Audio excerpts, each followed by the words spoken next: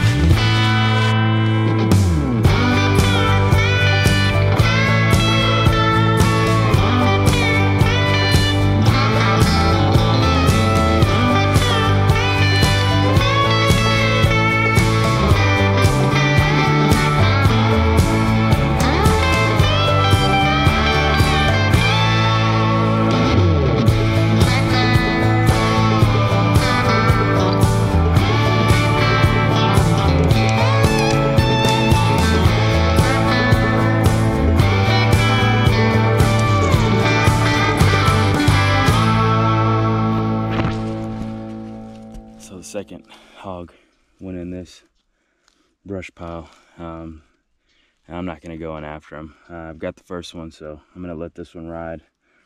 Um, he's probably dead in there somewhere buried, but uh, I'm just gonna let him be, man. I, I'm not getting in there. Hey guys, by the way, if you guys don't have a set of these game cuffs, look them up. These things make the drag so much easier.